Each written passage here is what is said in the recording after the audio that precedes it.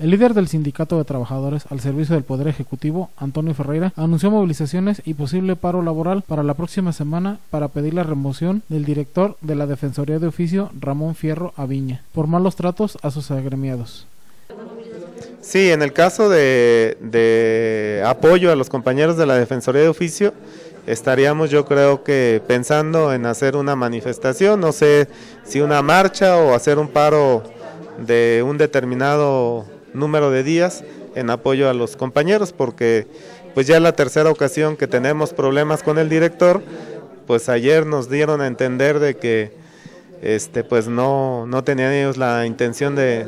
de, de, de removerlo. El líder del Estaspe dijo que en esta lucha buscará también que paren las vejaciones que sus agremiados enfrentan por parte de por lo menos 25 funcionarios, casi todos, dijo, de segundo o tercer nivel. Estaríamos hablando ahorita alrededor, en, en el último reporte que, que, me pasan mis compañeros, alrededor de 25, 28 funcionarios, que son los que nos están dando maltrato, pero normalmente son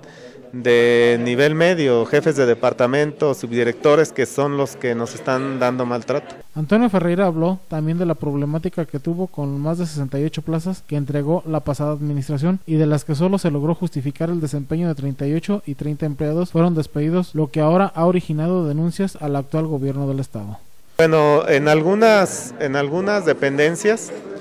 ya se, se, se retiró a los trabajadores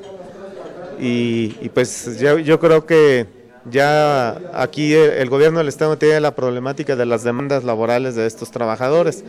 En algunos otros eh, se hizo un análisis conjuntamente con los propios trabajadores de las dependencias